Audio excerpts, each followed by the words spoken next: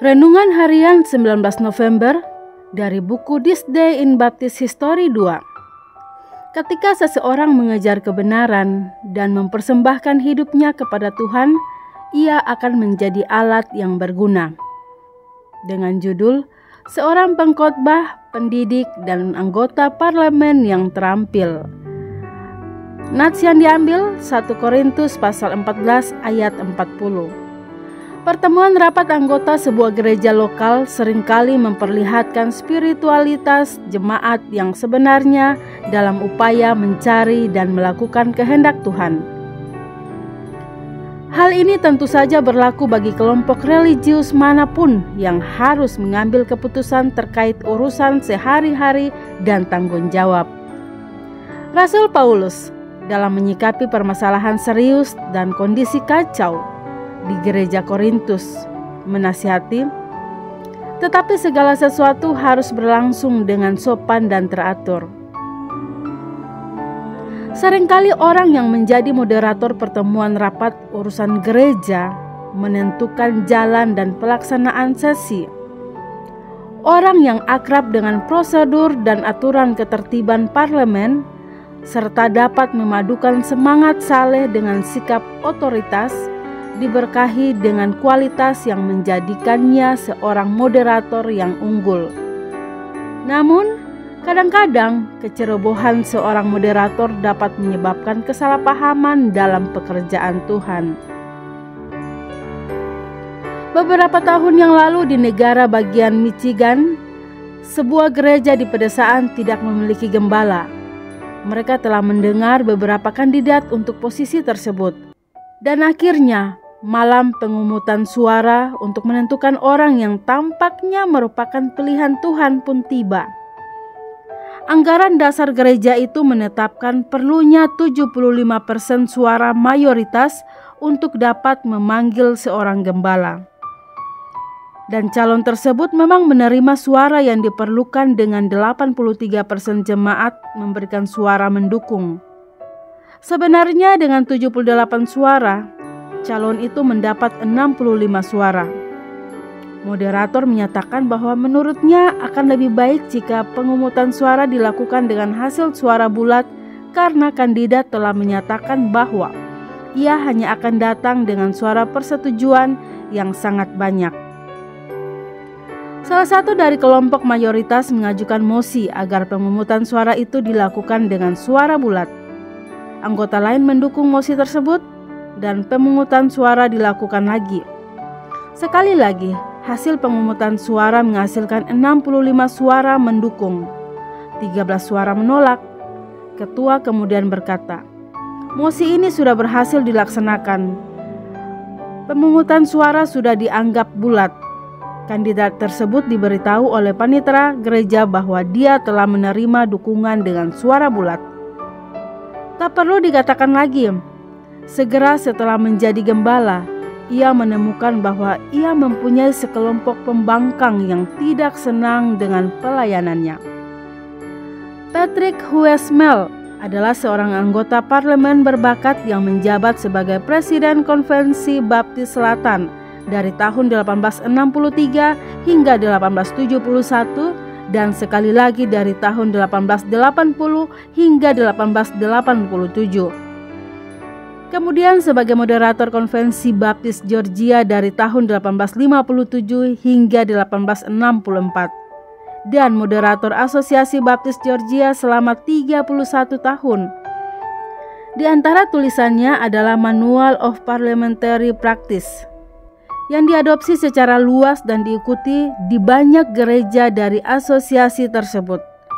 Anda dapat yakin bahwa tidak ada kesalahan seperti yang disebutkan sebelumnya yang terjadi selama masa jabatannya.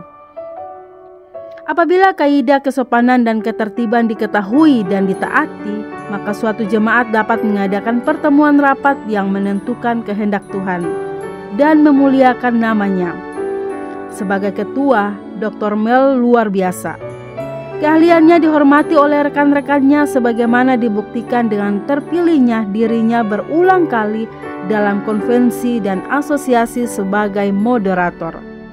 Patrick melahir di Liberty County, Georgia pada tanggal 19 Juli 1814. Dia baru berusia 14 tahun ketika ayahnya Benyamin meninggal dan baru berusia 16 atau 17 tahun ketika ibunya Cynthia meninggal. Sebagai anak tertua dalam keluarga, ia harus menghidupi dirinya sendiri dan saudara-saudaranya yang menjadi tanggungannya. Kehidupan rohaninya dimulai pada musim panas tahun 1832 ketika ia mengalami pertobatan pada usia 18 tahun. Dia dibaptis oleh Gembala Samuel Lau di gereja North Newport, Liberty County, Georgia. Sebagai seorang pemuda, keinginannya untuk mendapatkan pendidikan begitu besar sehingga dia meminjam uang dan mendaftar di Amherst College di Massachusetts Inilah awal keterlibatannya dalam pendidikan tinggi. Di kemudian hari, Universitas Furman menghormatinya dengan gelar Doktor Divinity pada tahun 1858 dan Howard College menganugerahkan LLD gelar padanya pada tahun 1869. Tuan Mel menggembalakan gereja baptis di Oxford, Georgia pada tahun 1840 dan atas permintaan gereja baptis Greensboro dia ditabiskan pada tanggal 19 November 1842. Pada saat yang sama, saat melayani sebagai gembala, Reverend Mel dipanggil untuk melayani sebagai profesor bahasa kuno di Universitas Mercer dari tahun 1841 hingga 1855 dan di Universitas dari Georgia pada tahun 1856. Ia direkrut untuk menjabat sebagai wakil rektor Universitas Georgia pada tahun 1860 dan memegang jabatan tersebut hingga tahun 1872. Pada tahun 1878, Universitas Georgia meminta Dr. Mel untuk menjabat sebagai rektor. Posisi yang dipertahankannya sampai tahun 1888. Sejak masa pentabisannya, meskipun melayani dalam berbagai kapasitas di bidang pendidikan, Gembala Mel terus berkhotbah, menggembalakan beberapa gereja untuk jangka waktu yang lama. Selama Perang Saudara, sebagai tanggapan atas seruan gubernur negara bagian Georgia agar sukarelawan bertugas selama enam bulan, Dr. Mel, meskipun masih seorang profesor di Universitas Negeri, mengumpulkan sekelompok orang di mana dia berada dan terpilih menjadi kapten. Ketika resimennya diorganisasikan, dia terpilih menjadi kolonel. Dia tetap bertugas selama enam bulan di berbagai titik di negara bagian itu.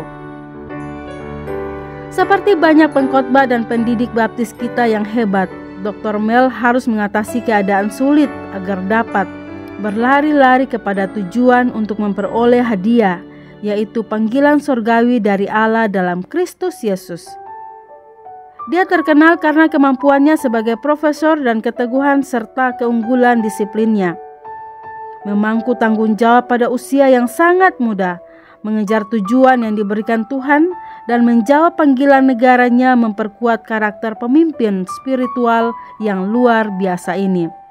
Semoga kita memiliki pemahaman rohani untuk menyadari bahwa Tuhan mengizinkan pengalaman hidup yang sulit dan terkadang menyakitkan untuk membentuk kita menjadi hamba yang efektif dan setia yang dia inginkan. Renungan tambahan Dr. Suwanto Liau Poin pertama, bagian awal dari cerita di atas memberitahukan kita tentang keadaan gereja baptis yang khas yaitu sistem demokrasi jemaat. Dalam keputusan jemaat non-rutin selalu dengan pemungutan suara. Denominasi lain yang keluar dari Katolik tidak paham akan hal ini karena mereka pada prinsipnya adalah gereja negara yang tidak demokratis.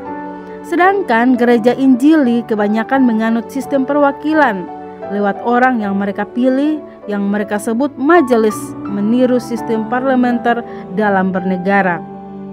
Gereja Baptis dan khususnya GBIA menganut sistem demokrasi murni yaitu melalui voting seperti cerita di atas GBIA tidak ada majelis melainkan diaken yang artinya pelayan, bukan pengambilan keputusan melainkan melayani. Gembala adalah moderator. Poin kedua, kita sedang menghadapi tahun pemilu dan banyak orang tidak tahu dari mana asal sistem demokrasi. Kita tahu bahwa gereja Katolik adalah gereja negara dari kerajaan Roma dan kemudian kerajaan Roma pecah menjadi berbagai kerajaan di Eropa. Dan Protestan dengan Luther keluar dari Katolik kemudian menjadi gereja kekaisaran Jerman. Calvin dengan gerejanya menguasai kota Geneva. Zwingli menguasai kota Zurich. Anglikan menguasai England satu-satunya yang terpisah dari pemerintah duniawi adalah kaum Anabaptis. Dan Anabaptis inilah kelompok paling awal yang mempraktekkan sistem demokrasi dalam pemerintahan jemaat. Gembala hanya bertindak sebagai moderator dan pengajar kebenaran. Poin ketiga, di atas juga diceritakan tentang pribadi Patrick Huesmel, seorang yang dipakai Tuhan dalam segala bidang. Ia pernah jadi tentara, gembala, dosen, rektor universitas, anggota parlemen, dan bertindak sebagai moderator. Lengkap sekali perannya. Ketika seseorang mempersembahkan dirinya kepada Tuhan, ia bagaikan tanah liat yang ditaruh ke tangan seorang pejunan. Ia pasti akan dibuat menjadi berbagai alat yang sangat bermanfaat dan indah. Siapa pun Anda yang membaca renungan ini, maukah Anda mempersembahkan diri Anda kepada Sang Pejunan Agung? Carilah kebenaran seperti Patrick Huesmel Demikian renungan hari ini 19 November bersama saya Lina Dadi. Tuhan Yesus menyertai dan Maranatha.